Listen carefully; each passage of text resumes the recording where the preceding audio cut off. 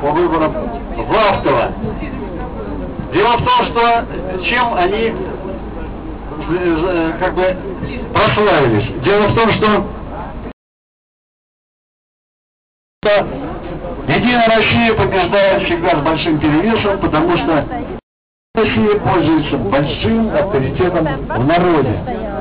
В авто ни один кандидат не прошел от Единой России. С большим перевесом победил объединенный блок Справедливой России и подписку КПРФ.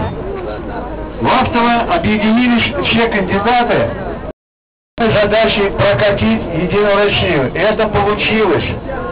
Там, где обеспечено, обеспечено, что вбросов не будет, где не будет нарушений, там Единая Россия не набирает 15% голосов.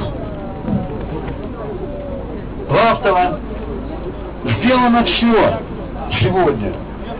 В связи с тем, что вбросы не получились, в связи с тем, что там масса-масса нарушений, которые зафиксированы на видеотехнику, э, масса жалоб, оформленных юридически. Единая Россия, которой удалось сделать свою временную избирательную комиссию, которая организовала участковую избирательную комиссию полностью из своих сторонников, там сделали все э, с нарушением закона так, что ни одного человека, который бы отстаивал интересы населения, не было. И все равно неимоверные были усилия, все равно удалось вот это показать.